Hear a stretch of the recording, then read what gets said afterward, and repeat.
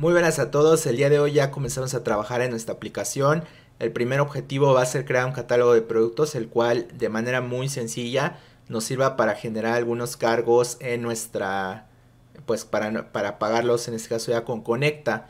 Eh, lo primero que vamos a hacer es irnos a nuestro código y vamos a crear un nuevo controlador, el cual nos va a servir para todo el tema de la tienda, o sea, del lado público. Eh, esta bueno, este controlador, aquí vamos a hacer la estructura básica de una clase en CodeIgniter. Vamos a ponerle un nombre que se llame shop y eh, vamos a cargar una vista eh, la cual traiga pues lo que es la, el catálogo de productos. En este caso todavía no existe, pero voy a llamarle products. vamos a crearla aquí. Products. Y rápidamente bajamos una estructura HTML básica. Eh, vamos a utilizar Bulma para maquetar, para no hacerlo muy tardado. Entonces eh, aquí yo lo primero que hago pues es buscar el CDN. Aquí nos dice que se encuentra de este lado. Vamos a copiar el, el link del CDN. Aquí pues inclusive utilizar el minificado. Así es que vamos a ponerle aquí arriba como un link CSS. Pegamos esto y ya tenemos Bulma trabajando. Eh, aquí, bueno, vamos primero a tener que irnos a Shop. Aquí me imagino que ya lo estaría cargando. Vamos a irnos aquí a Shop y si nos damos cuenta aquí en Red, efectivamente ya se encuentra linkeado Bulma. Entonces, rápidamente voy a empezar a maquetar algunas cosas aquí. Eh, yo creo que vamos a acelerar el tiempo para no tardarnos en esto. Entonces, vamos a ello. Bien, pues ya he terminado de maquetar. Eh, lo único que tenemos aquí pues es eh, una card que ya inclusive puse lo que va a ser el título, el SKU que es como el identificador del producto, precio, cantidad que se va a seleccionar con un combo box y una descripción. Todo esto va a ser muy sencillo, igual si quieren comprar algún producto pues van a darle clic aquí en el checkbox y todos los que estén seleccionados pues serán los que se les cobre, ¿no?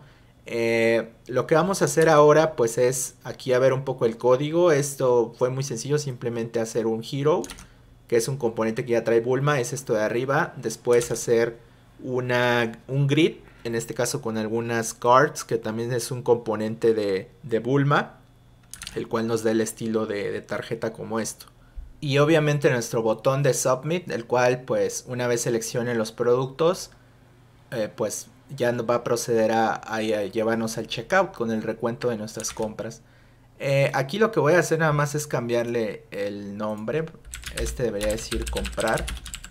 Y como te lo explicaba, obviamente si tú duplicas las columnas, o sea, esta columna ya trae el cart adentro. Por ejemplo, la duplico, pues aquí aparecería otro producto. Por ende, solamente necesitamos una porque vamos a cargar los datos dinámicamente desde base de datos.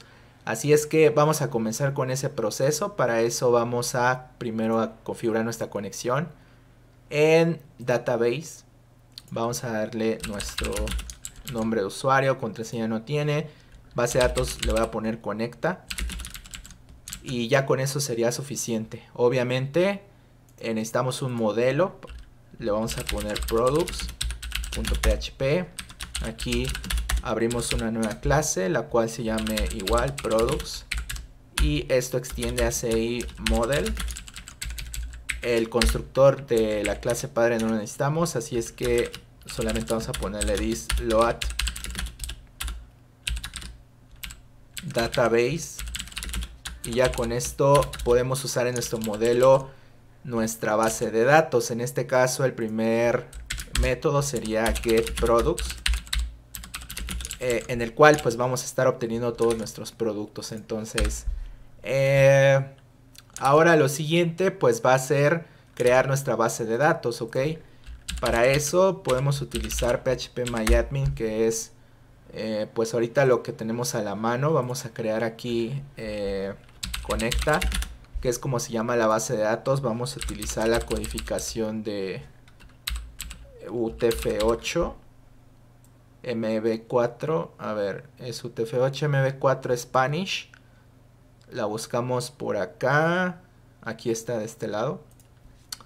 Y creamos una base con eso. Entonces, Rápidamente vamos a hacer nuestra tabla con la imagen que puedes ver aquí al lado, entonces vamos a agilizar un poco el proceso.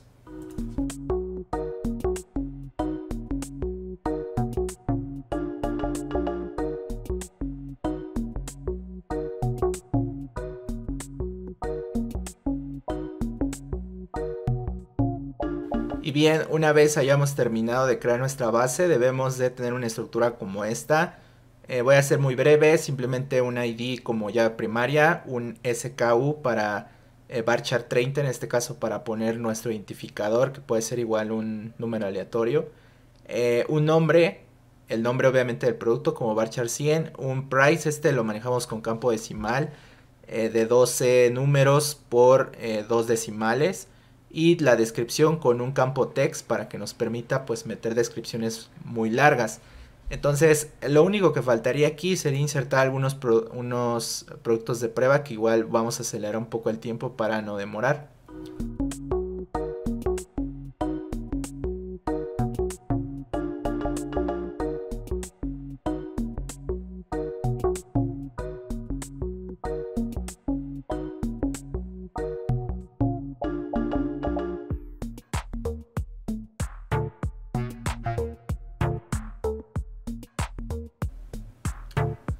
Terminaríamos teniendo estos registros. Eh, son pues muy sencillos, no hay nada aquí que, eh, que, explicar. Entonces vamos a extraer estos registros desde nuestra aplicación de CodeIgniter.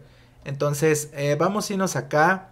Aquí en Get Products lo que vamos a hacer es poner esto this dbget, lo cual es bueno es parte del del Active Record de CodeIgniter. Aquí simplemente le pasamos el nombre de la tabla que se llama Products.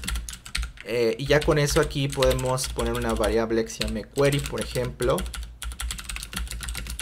Eh, ya estamos obteniendo aquí todos los registros de la tabla Products. Entonces simplemente vamos a regresarlos con return query eh, result. Ok. Esto lo que hace pues es regresar en un objeto ya los resultados del query. Eh, para darnos cuenta de eso podemos irnos a nuestro controlador, cargar el modelo. Disload model, vamos a ponerle aquí eh, products, que es así como se llama. Y ya con esto ya podemos usar este modelo. Simplemente ponemos this products y le pasamos el nombre de la función que se llama get eh, products.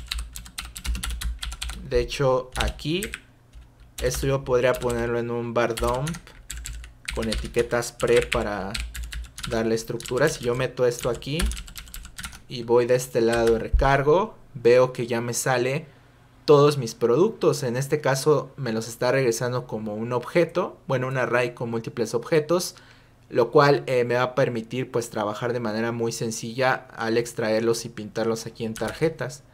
Vamos a hacer eso simplemente en nuestra vista pues vamos a pasarle eh, como variable de datos todos los registros. Para eso pues muy sencillo vamos a poner aquí data le damos un índice se llame products es igual a en este caso pues lo que obtengamos de, de nuestro modelo.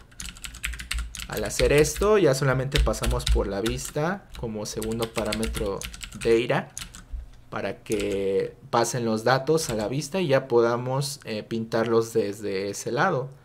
en este caso abrimos aquí la vista.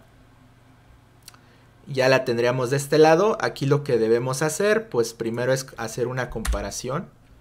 Poner, por ejemplo, eh, en este lado, por en la columna arriba, vamos a poner aquí un if.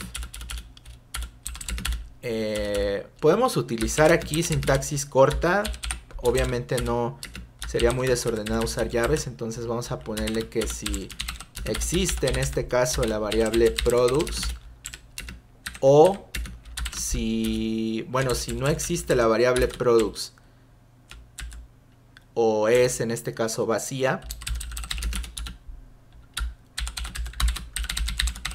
¿qué es lo que va a pasar? Pues algo muy simple, le va a mandar un mensaje eh, que diga puede, ser una, una, por ejemplo, una tag P que diga actualmente no, hay, no, existen registros.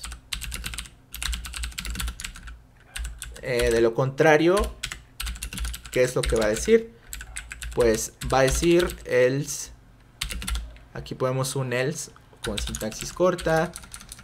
Eh, aquí de hecho debe de ir con PHP estas partes del if. No podemos hacer una impresión.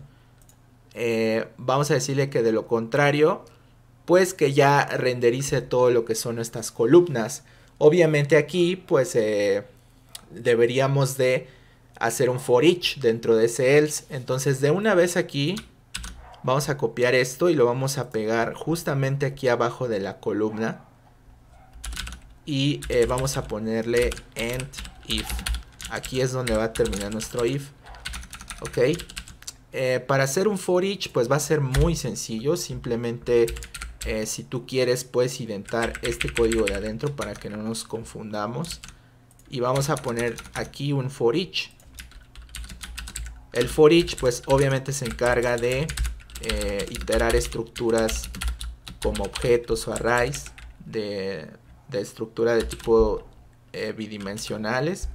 Por ejemplo aquí podemos poner lo que es la estructura que sería products y le ponemos por ejemplo una variable auxiliar la cual va a traer cada una de las va a traer cada una de las de los ítems que serían pues cada uno de nuestros registros. Entonces eh, eso obviamente lo ponemos aquí pero en vez de ponerle en if vamos a ponerle en for each ok para indicar el término de la sentencia for each ya con esto, pues ya te imaginarás, por ejemplo, vamos a ponerle, en vez de nombre de producto, pues aquí si imprimimos eh, nuestra propiedad name, que ya viene preparada aquí en, nuestra array. De hecho, mira, aquí todavía puedes verla. Aquí está name. Eh, el SQ, pues lo mismo. Vamos a ponerle aquí item. SQ, puedes recargar inclusive aquí para ir viendo. Ya viste que ya cambió los nombres. Todo esto ya viene de base de datos, ya nada más lo único que falta pues es eh, cambiar las demás cosas, ¿no? Como es el precio.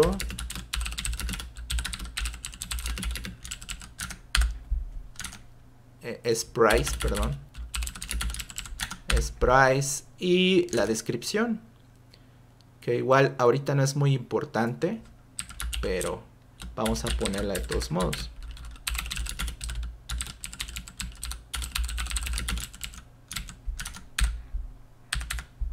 y bien ya, ya se encuentra funcionando. Entonces, eh, pues así ya tenemos nuestras tarjetas. Obviamente todo esto viene desde base de datos.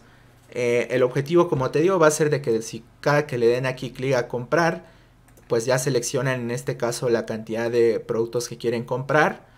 Y al darle comprar, obviamente pues va a llevarnos a nuestro checkout en donde ya vamos a implementar nuestra pasarela de pagos que lo vamos a estar haciendo en los siguientes videos. Entonces aquí vamos a dejar este video. Si tienes dudas, déjalo en la caja de comentarios. Suscríbete al canal si parece que, estos contenidos te pueden servir. Y pues eh, en la medida de lo posible yo voy a estar contestando sus mensajes. Muchas gracias y nos vemos la próxima. Chao.